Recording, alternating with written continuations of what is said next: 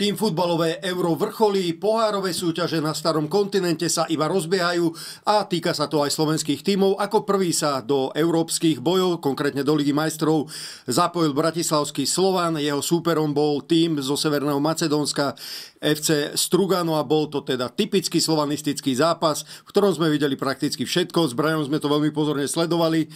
Čau. Ahoj Marek, všetkým prajem pekný deň. No naozaj, to už, to už je v podstate ako obohraná platňa, ale na druhej strane je to zaujímavé. Minimálne pre diváka, fanúšika je to zaujímavé. Už keď... menej pre trénera Vajsa? No, pre trénera Vajsa to musí byť teda neskutočne stresujúce, lebo ten si prežíva naozaj v každom takmer, alebo v každom jednom zápase, keď sa vrátime teda aj do minulosti a do minulej sezóny tej poharovej Európy, tak on si naozaj zažíva také obrovské trillery, dá sa povedať, v tých zápasoch. No a včera sa to ukázalo opäť.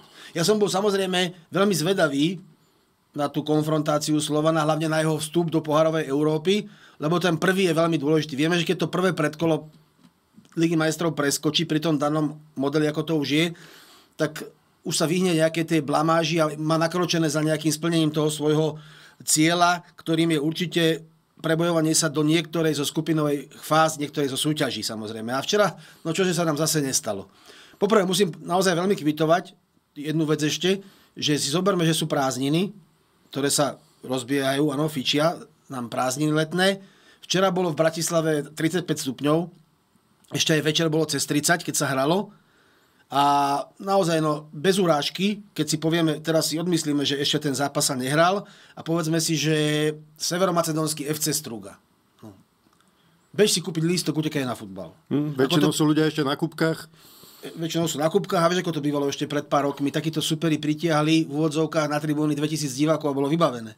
No takže musím kvitovať to, že tam Slovan prišiel pozbudiť 11 tisíc fanúšikov, naozaj, klobúk dole, ktorí v prvom polčase a po prvom polčase respektíve museli byť spokojní. Určite bolo spokojný aj tréner, tréner Weiss, aj keď už aj tam sa objavili také nejaké veci vzadu.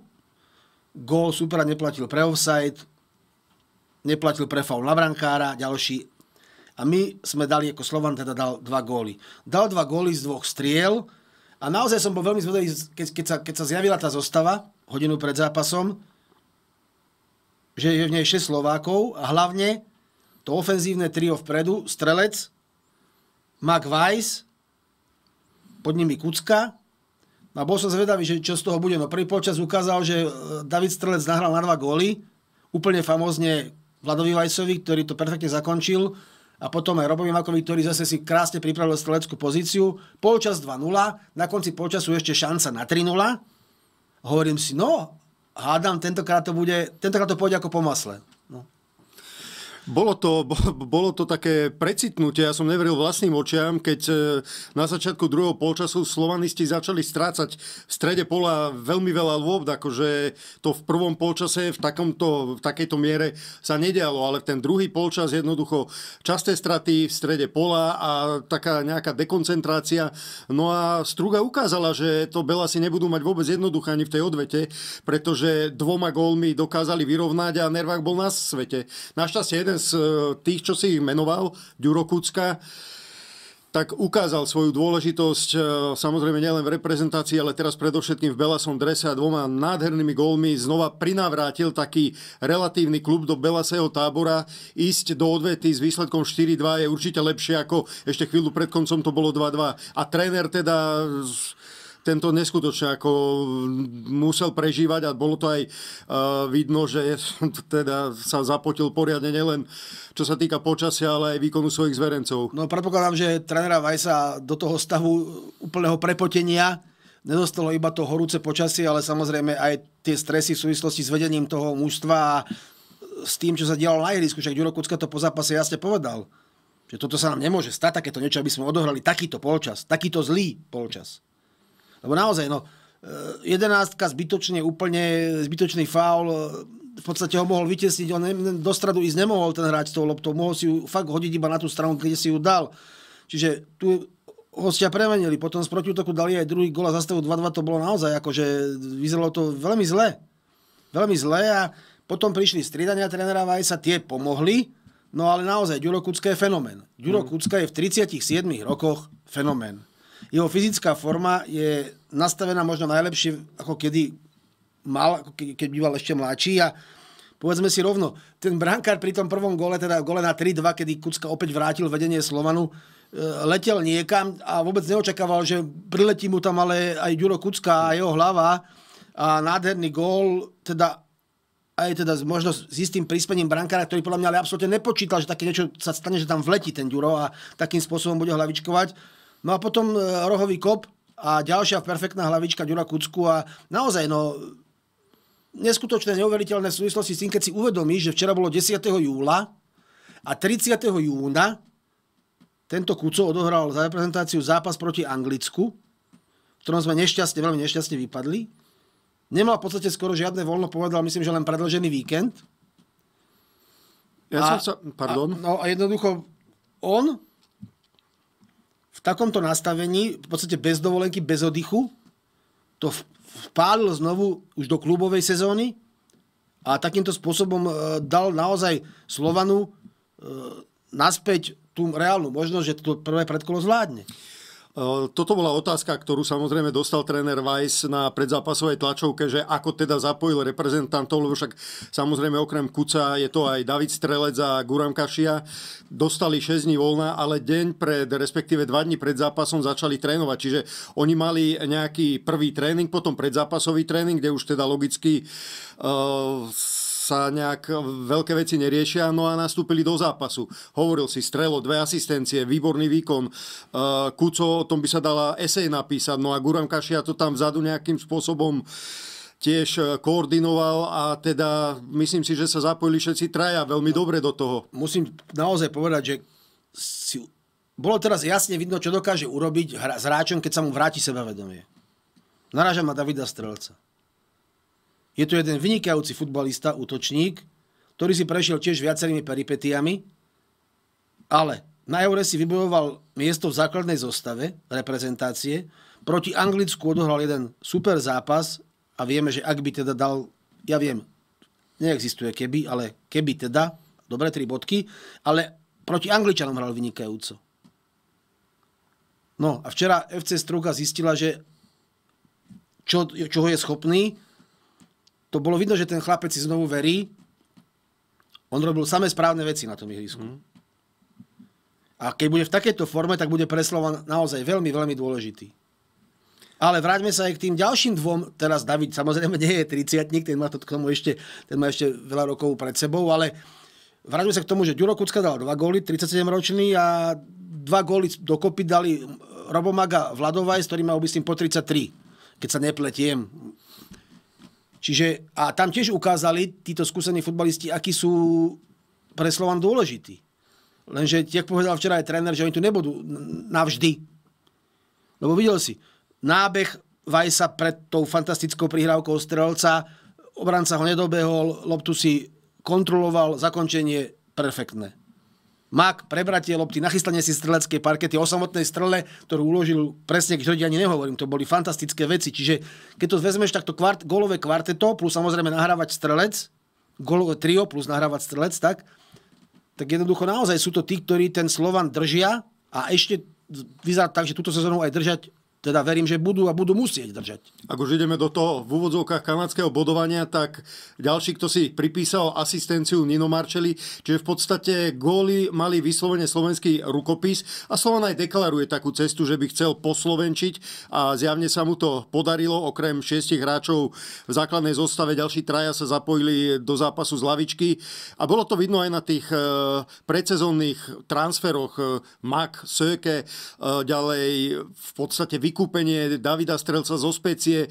Chcú ísť eh, Belasi touto cestou, že zbierať tých mm, najkvalitnejších dostupných Slovákov a podľa mňa je to dobrá cesta, lebo skutočne tí diváci sú zvedaví. Treba, ja som na Sekeo veľmi zvedavý na celú sezónu.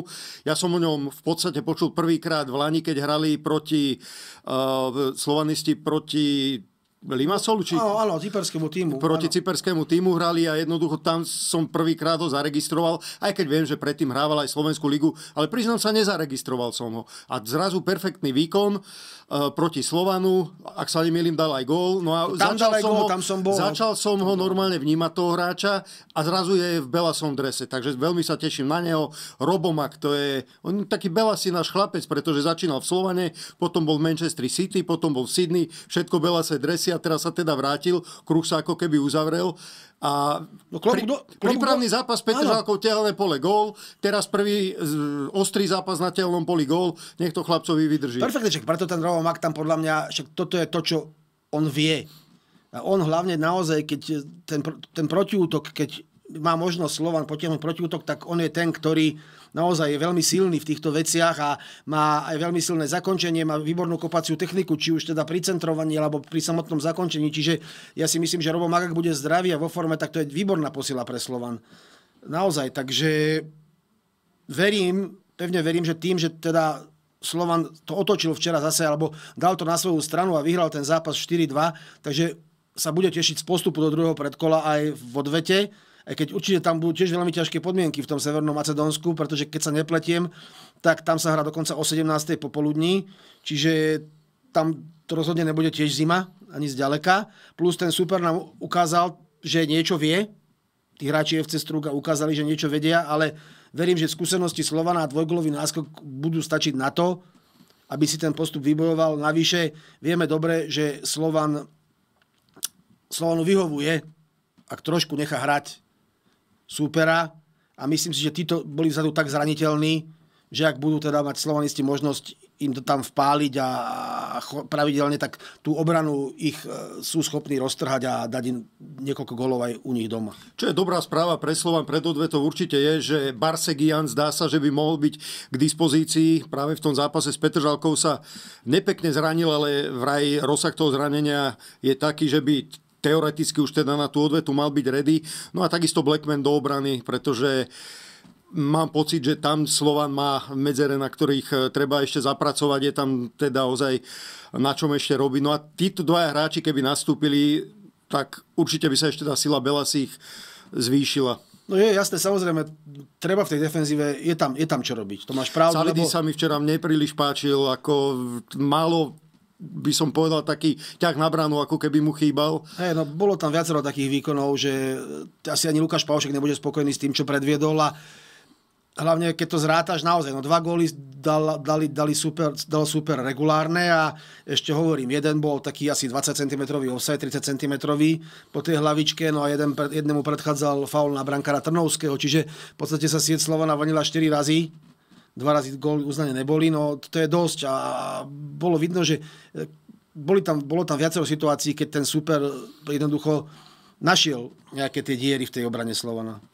Tomuto zápasu predchádzala tlačová konferencia veľká. Ja som dávno nezažil takú výživnú tlačovku. Bol tam generálny riaditeľ eh, Ivan Pontrik mladší, potom tréner Vladovajs a kapitán eh, Vladovajs. Hovorilo sa veľmi veľa o plánoch klubu, ešte o e, prípadných posilách. Andra Šporár je stále otvorená záležitosť. E, črtá sa meno veľkého brankára, údajne tam včera videli Tomáša Vaclíka, čo by bola veľmi zaujímavá posila. Samozrejme, všetko záleží od toho, ako Slovan e, naloží s tou odvetou. Ak postúpi ďalej a teda udrží si tú šancu na celo jesenné účinkovanie v kontinentálnych súťažiach, tak samozrejme aj manažment klubu bude uvažovať v iných intenciách, ako keby, nedaj Bože, sa to nepodarilo, ale tak to samozrejme si na tehelnom poli nepripúšťajú. Uh, Ivan Kmotrík vyjadril takú zaujímavú myšlienku, nevyjadrili ju prvýkrát, že v podstate aj fanúšikovia sa podielajú na tom, akí hráči prídu, či to bude šporár, alebo či to bude nejaký kvalitný brankár. A práve tým, že koľko permanentiek si kúpu, kúpia. Zatiaľ predaných 1600 kusov, s čím samozrejme spokojnosť nevládne, ale pokiaľ bude hrať Slovan tak, ako hrá a pokiaľ skutočne tu budú hrať takí hráči, akí treba prišli aj v tomto prestupovom období, tak je to podľa mňa skvelý krok k tomu, aby sa počet tých fanúšikov zvyšoval nielen na poháre, ale treba aj na ligu. Na poháre to funguje očividne. Na poháre to funguje a to budeme vidieť, že keď, keď bude teda Slovan, dúfam, že postupovať, tak a budú, budú, budú sa aj tie návštevy zvyšovať. No, v lige je to o tom, ako bude Slovan hrať. Keď naozaj bude hrať so Slovákmi a bude, bude predvádzať ofenzívny futbal bude dávať veľa gólov, tak tých ľudí to priláka. Pôjdu na futbal. Však je to pekný štadión, pekné prostredie. Dobrý, keď uvidia dobrý futbal, prídu sa pozrieť na Strelca, na Kucku, na Maka, na Vajsa a tak ďalej a tak ďalej. Prídu sa pozrieť, lebo jednoducho stotožnia sa s tým klubom ešte viac, ako povedzme možno boli v minulosti. Čiže to sú spojené nádoby. Jednoducho ten divácky záujem a, a, jedno, a to, čo sa predvádza na ihrisku. No. Veľmi emotívne veci boli na tej tlačovke mladému vládovi sa takmer slzy rozkotulali po tvári, lebo deklaroval teda, že toto bude jeho posledná sezóna a že potom zavesí kopačky na klinec a keď teda dostal otázku týmto smerom, tak bolo na ňom vidno veľké dojate. Povedal krásnu vetu vypožičal si ho od Jamieho Carragera, že opustí futbal skôr, ako futbal opustí teba. Ako je to nádherná myšlienka, ale bolo vidno, ako to ním lomcuje. Dostal otázku na Ligu majstrov, tak to len mávol rukou, že o tomto sa ani nebavme, lebo sa tu zase rozplačem. Čiže skutočne krásna tlačovka, boli tam pekné veci, no a samozrejme aj Vladov otec, tréner, Vlado starší, si zobral slovo a v podstate zdvihol, zodvihol takú ochrannú ruku nad e, svojou rodinou a nad slovanistami Janom Muchom, e, Robom Vitekom, svojim synom a sebou samotným a v podstate narazil ešte na Kalconovú tlačovku, kde veľmi podľa mňa solidným a inteligentným spôsobom zareagoval, že on si svojich ľudí bude chrániť. Strašne sa ho dotklo to, že Eh, Robo Mak, trénerovi Kalconovi, nestojí ani len za zmienku, ale pritom 8,5 minúty dokázal chrliť eh, v podstate kritiku do všetkých radov ľudí, ktorí pre slovenský futbal toho veľa spravili. Veď pamätáme si veľmi dobre, že práve Vitek, práve Mucha a práve Vajsovci stáli pri tom, keď slovenská reprezentácia na majstrovstvách sveta vyradila vtedy úradujúcich svetových šampiónov Kalconových Talianov. Takže títo ľudia pre slovenský futbal určite niečo urobili. No a Vladovaj sa teda ohradil voči tomu a v podstate ohradili sa aj ostatní dotknutí. No tak ja sa tomu nečudujem, však my sme to tu vyjadrili úplne jasne. My sme nahrávali ten predošlý podcast deň po tej Kalconovej tlačovke. A ja si som povedal, že nesúhlasím s tým, čo tam vyprodukoval za tých 8,5 minúty. Jednoducho. A čo čakal, že ako čakal vyslovene na to, aby sa takýmto spôsobom uh, jednoducho tých svojich kritikov akože zvozila, sprznila, e, dal po čiernu zem. Jednoducho, e, príde mi to, už vtedy som povedal, že mi to prišlo nevhodné a absolútne zbytočné. Pamätáme si z minulosti, že sme si vraveli, že my Slováci sme majstri v tom, že keď sa niečo aj podarí, tak to vieme hádkami medzi sebou rozoštvať a znegovať a urobiť z toho nakoniec ešte aj niečo, čo je nakoniec negatívne. Ako, netešíme sa z toho, že je to, niečo sme dosiahli. Ale mňa naozaj, som to povedal, to na tej tlačovke, ten výstup bol absolútne zbytočný a povedal by som, že bol by zbytočný, keby tie, sme to euro vyhrali. On bol zbytočný v každom prípade. Paradoxom je, že teraz sa skutočne celý týždeň alebo celý čas, odkedy sa naši vrátili z z Nemecka mal rozprávať o skvelých výkonoch, o hernom progrese, o e, individuálnych výkonoch, o troch góloch Šranca a tak ďalej a tak ďalej. A rozpráva sa tu o vymyslenej kauze. Samozrejme, že som rád, že Ivan Šranc dal tri góly, klobúk dole pred ním. Je to fantázia. Samozrejme, že som rád, že v každom zápase sme dokázali skorovať. Samozrejme, že som veľmi rád, že sme vyhrali nad Belgickom, že sme takmer vyradili Anglicko a že sme si neurobili v žiadnom zápase nejakú veľkú hambu. Som rád ale nie som rád, že sme 4 krát vyhrávali 1-0 a z tých 4 zápasov sme vyhrali iba jeden. Prečo? Prečo sme viedli ešte v 94. minúte, ešte v 95. minúte nad Anglickom 1-0 a malo už kúpené letenky domov a nevyradili sme ho? Prečo? Angličania, môžeme si hovoriť, koľko chceme, že majú šťastie alebo majú smolu. Jednoducho otočili zápasy. So Slovenskom otočili zápas, so Švajčiarskom. Uh, podali fan, otočili zápas v podstate aj v semifinále, pretože s Holandianmi prehrávali 0-1. Takže... No samozrejme, to je to, jasné, že majú širší káder. Samozrejme, že majú širší káder, ja to beriem. A ukazujú, že ten širší káder, alebo ten široký káder dokonca, ktorý oni majú, teda rozhoduje takéto veci. Áno, vybrdli, v 8 finále vybrdli, už naozaj vyskočili Hrobarovi z lopaty v tom zápase s nami, To isté sa im podarilo, aj keď nie až tak úplne, to nebolo to až tak tesné, alebo čo, aj so Švajčiarmi vo štvrťfinále. No a včera zasadili Holandianom KO v 90. minúte, alebo 91. 90. dokonca. minúte 5. sekunde. To sú, to sú situácie, ktoré treba dať pred nimi klobúk dole.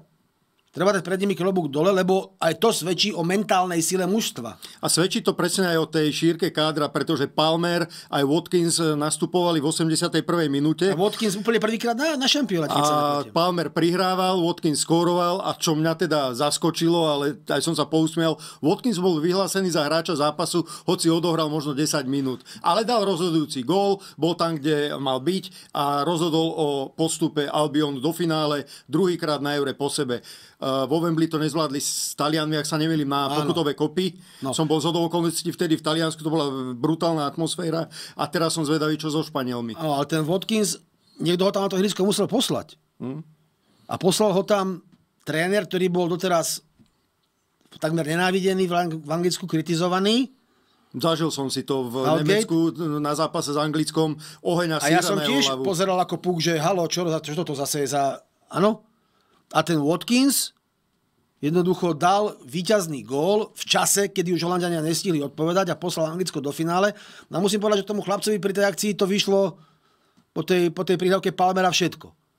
Prvý dotyk, prvým dotykom okamžite pripravená lopta na strelbu, hoci za ním stoper, dokázal sa okolo neho otočiť, no a nič lepšie sa mu nemohlo stať ako to, že to trafil tú prudkú krížnu strelu pomedzi nohy toho stopera. Lopta vyletela presne k žrdí krížna, brankár nemal šancu. Čiže áno, Angličania tie svoje ťažké situácie, napriek tej kritike a všetkému možnému, v tých zápasoch zvládli a budú hrať v finále. My sme tam zanechali veľmi dobrý dojem, ale 30. júna sa pre nás šampionát skončil, čo ma stále veľmi mrzí. Stále mi to niekde vzadu v hlave hovorí, že škoda, škoda, škoda, že sme tých Angličanov nevyliali, lebo vtedy by som to už považoval naozaj za veľký úspech. Žiaľ, my sme tu kritickú, alebo tie kritické situácie v tom zápase nezvládli. Zvládli ich Angličania a preto sú oni tam a no my sme už skoro dva týždne doma. Hm. Otázkou teraz je, že či teda Harry Kane sa konečne dočká nejakej trofeje, alebo teda, že či ten pohár bude dvíhať e, nad hlavu objav a futbalový génius Jamal, pretože ten, čo Braňo, úprimne, ja mám pocit, ako keby som ho už poznal roky. On, on toľko dobrých zápasov odohral aj v tej Barcelone. Uh, taká príhrávka, taká kľúčka, taká strela, taký gol, že jednoducho už si mám toľko zážitkov zažitých z tých vizuálnych, že som videl jeho akcie, že ja už ho tak nejak vnímam ako, ako dlhodobú súčasť svetového futbalu. A stále má 16 rokov. A v deň finále teda už bude mať 17 a teda dal gól ako 16-ročný, prekonal Peleho rekord z 58. na veľkých turnajoch. Pamätáme si, teda nie my, ale ako v, máme načítané, máme načítané ten turnaj vo Švédsku, kde uh, Pele jednoducho exceloval a teda ako 17-ročný mladík sa zapísal prvýkrát do myslí fanúšikov. No uvidíme, kam to dotiahne tento Španiel. Ale sila je aj to, že si zober, že od prvého zápasu Španielov na šampionáte sa čaká na to, že kedy ho teda fúkne ten gól, aby teda tú históriu prepísal a nešlo to. Hral vynikajúco, prihrával na góly, robil priestor pre, spoluhráčov, priestor pre spoluhráčov, vietor v obranách a nepadal. Ten rekordný gól, no a pozri sa. Oni ako favoriti do zápasu s Francúzskom, aj keď povedať to zápas takýchto dvoch gigantov, že Španielsko, Francúzsko, ale boli favoriti Španieli, vzhľadom na to, čo to vtedy predvádzali oba týmy. Oni prehrávajú 0-1 a on pár minút potom, ako dostali oni gól, dá ten rekordný svoj takým spôsobom, akým ho dal. Famózny, nádherný, krásny gól a naozaj vlastne otočil dejiny toho zápasu. V zápätí o chvíľočku pridali Španieli ďalší. A A, ďalší expert Dani Olmo v podstate začínal ako náhradník a on dal v nadstavbe v každom zápase gól. On ho dal Gruzincom, on ho dal Nemcom, teraz e, Francúzom a v podstate ukazuje sa ako kľúčový hráč na tom šampionáte pre Španielov. Okrem toho má aj asistencie dve. A znova dostal sa na ihrisku potom, ako sa, myslím, Pedri zranil. Pedri. A v podstate ťažko povedať, čo by sa stalo, ak by sa ten Pedri nezranil. Samozrejme, nikdy to nikomu nikto nežela, nepraje, ale Španielom to podľa mňa asi pomohlo, neviem, také zvláštne tvrdenie, ale ten Olmo sa ukázal ako, ako hráč v top forme momentálne a teda ťaha spolu s mladým Jamalom e, tú španielskú fúriu rochu.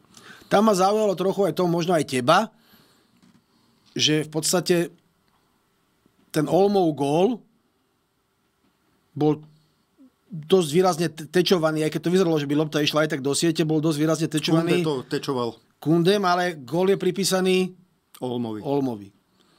Čo ma teda tak zaujalo, lebo že, aké sú, že, že, že prišlo by to tak, že na, naozaj dosť výrazne zmenil smer tej lopty. To bolo tak evidentné, že jednoducho no neviem, no tam pritom sa špekuloval... si, zober si pri tom, že Francúzi predtým keď postupovali, ten tečovaný, tú tečovanú strelu vtedy No oni mali dva vlastné góly. Áno, dva vlastné góly a to, to, tá bola pripísaná stoperovi, čiže je to, je to také, také zvláštne. No. Mm. no nič, v každom prípade v finále Španielsko, Anglicko, toto by sme asi pred týždňom nepredpokladali, lebo tí no, Španielov áno. Španielov áno. Ja, ja som fakt typoval Nemcov mm, na finále, ale bolo to zrejme také predčasné finále Nemecko, Španielsko, bol to fantasticky vynikajúci zápas, ale ja som rád, že aj tie semifinálové mali uh, už teda vysoké parametre a ja dúfam len, že vo finále to bude tá čerešnička na torte. Bolo tam pri tých vyradeniach tých uh, niektorých tímov samozrejme dosť veľa emócií, lebo zober si, že doma hrajúci Tony Kroos, ktorý už teda povedal, že sa lúči s kariérou, najprv teda sa rozlúčil víťazstvom v Lige majstrov z Realom Madrid, Teraz sa samozrejme určite chcel s Nemeckom rozlúčiť doma titulom majstra Európy. Nevyšlo, čiže tam určite bolo dosť veľa emócií. Samozrejme, poplakali si aj Ronaldo s Pepem, hlavne teda Pepe. Mňa prekvapilo, že Ronaldo sa vraj vyjadril, že ešte chce hrať o dva roky na majstrovstvách sveta. No, tak to som teda fakt zvedavý. Čiže bolo tam aj dosť rozlúčok jednej generácie, generácie silných osobností, a, silných osobností a hviezd, ktoré sme roky sledovali na trávnikoch. Takže také striedanie stráži. No a uvidíme, naozaj, ak si povedal, som strašne zvedavý, že teraz vlastne si zober, že španielská nová megahviezda, ktorá bude mať teraz 17 rokov, Jamal, symbolický súboj proti Harrymu Kaneovi, veľmi skúsenému útočníkovi, kanonierovi par excellence, ktorý ale nikdy nič nevyhral. Ako je to hrozné, ako, je to fakt hrozné z jeho pohľadu, keď to zoberieš, že je naozaj hviezda, je kapitán Albionu a nemá ani poriadnu klubovú, ani poriadnu reprezentačnú trofej. No a ja už to teraz trošku nadnesene poviem, že teda ak to Anglicko znovu nevyhrá to finále, tak už asi Harry ho povedia mu, že nosíš smolu, kamoško, že už stačilo. Alebo hovorím, samozrejme, to je tak nadnesenie, ale fakt som veľmi zvedavý, lebo aj teraz asi budú Španieli favorit, nejakými percent, nejaké tak percent, všetky zápasy vyhrali Nejaké percentá asi budú na ich strane, ale musíme si povedať, že včera to už bolo iné Anglicko. Včera to už bolo iné Anglicko okrem toho, že ukázali Angličania tú mentálnu silu, že otočili zápas, tak áno, už, už to bolo také pozerateľné a už to bolo niečo úplne iné, ako keď sa trápili 94 minút so Slovenskom, lebo tam som si pretieral oči a som nechápal, ale včera skutočne už sa na to teda dalo pozerať a bolo to príjemné a ako som už povedal, to vyvrcholenie môže byť veľmi, veľmi zaujímavé. Ja by som sa ešte trošku možno vrátil, mi teraz napadlo také, že Ty si spomenal tú tlačovku Slovana, že kde sa tréner Vajs zastal slovanistov a tých svojich ľudí, ktorí hrávali predtým za reprezentáciu a niečo pre tú reprezentáciu odviedli. Ale naozaj musím povedať, že naozaj to vyvolalo dosť veľkú búrku nevôle, to vyjadrenie trénera reprezentácie, lebo nebol to iba tréner Vlado Vajs, kto sa ozval, ale ozvali sa aj ľudia, ktorých sa to priamo netýkalo. Čiže neboli to len tí, ktorých, samozrejme, ozval sa Jano Mucha, Robovitek sa k tomu tiež vyjadril, vyjadril sa tomu Laco Borbeli, e, jednoducho vyjadrili sa k tomu aj tí dotknutí, teda, ktorých, na ktorých teda tréner Kalcona buď zautočil, alebo kritizoval, alebo ako to nazvať. Ale vyjadrilo sa aj veľmi veľa ľudí, ktorí neboli v tom jeho merku, že by to smeroval... Medzi tými desiatimi. Medzi tými desiatimi veľmi veľa ľudí, ktorí tiež si myslia, či už sú to bývalí futbalisti, bývalí tréneri, súčasní tréneri, súčasní futbalisti, ktorí si tiež myslia, že bola to absolútna zbytočnosť. Hmm. A hovorím, no, uvidíme, Uvidíme, čo z toho ďalej vylezie, ako sa ten vzťah ďalej trénera Kalconu s tou verejnosťou futbalovou bude vyvíjať. No ja som veľmi zvedavý. Sú znova dva tábory a úplne zbytočne. Opäť sa polarizuje. Presne, presne. Lebo niektorí sú prokalconovskí, niektorí zasa uh, sú proti tomu jeho vyjadreniu a je to úplne, ale úplne zbytočné, pretože skutočne tej polarizácie máme až až a tam, kde ju netreba. A on v podstate zjednotil Slovensko. Toto je na tom najväčší paradox, že zjednotil tými výkonmi Slovensko Presne. a zrazu to rozbil. Presne, však, lebo ja proti, samozrejme, že ja kvitujem absolútne, že tam vidno ten rukopis. Nikto to nespochybňuje. To nikto nespochybňuje. Tam treba ešte dotiahnuť tú jednu vec, si myslím, že je to veľmi náročný spôsob hry. Hmm. A jednoducho treba to, dúfam, že sa to podarí, mať viac schopných plnohodnotných hráčov, ktorých môžeme v tom systéme točiť, aby to fungovalo nie iba 45, 60, 75, 80 minút, ale aby to sa dalo teda istým spôsobom hrať plnohodnotne stále. Aj keď samozrejme vieme, že v zápase sú fázy, keď pritlačíš, povolíš, keď to tempo sa mení a tak ďalej a tak ďalej. Ale naozaj to, čo ten rukopis je tam jasne, jasne daný, všetci za to trénera chvália, vyjadrujú mu obdiv za to, aká robota sa mu za dva roky podarila. Len hovorím, toto naozaj, no.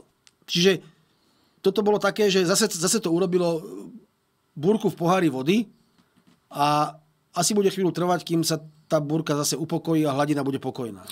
Nech nekončíme takto dramaticky, no. tak na odľahčenie ešte sa predsa len aj ja vrátim k tej tlačovke, lebo Bajsovci opäť perlili a starší s Vladimírov to aj povedal, že Vajsovci, tí už toho vo futbale natárali strašne veľa a boli tam, znova si nahrávali na smeč, tak e, dostali otázku na to, že čo hovoria na to, že žena bude rozhodovať ten zápas, tak samozrejme e, Vlado junior hneď koľko má rokov?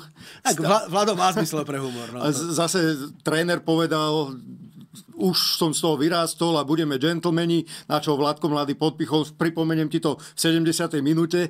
Takže sa, takto sa doberali a bolo to opäť niečo príjemné. Ale asi to čítala tá francúzska schodkyňa, lebo dala včera Vladovi Mladému žltú kartu, tak asi to mal za tú otázku.